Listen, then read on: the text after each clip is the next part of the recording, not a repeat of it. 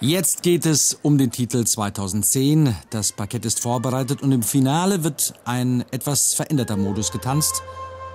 Im ersten Tanz, dem wunderschönen langsamen Walzer und beim letzten Tanz, dem Quickstep, haben Sie und auch die Wertungsrichter die Möglichkeit, jedes Paar für eine Minute 15 auf dem Parkett ganz alleine zu erleben. Tango, Wiener Walzer und Slowfox werden dann wieder in einer Sechsergruppe getanzt.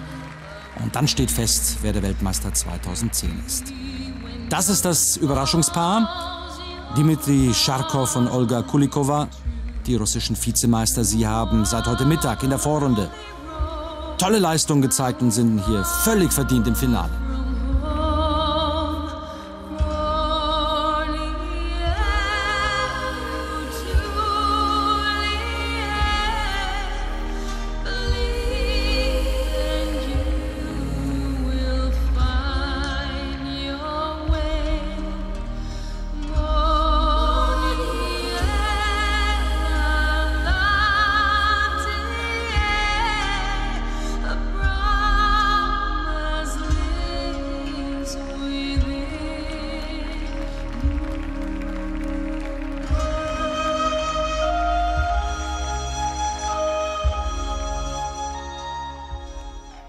Dimitri Scharkow, Olga Kulikova beim langsamen Walzer.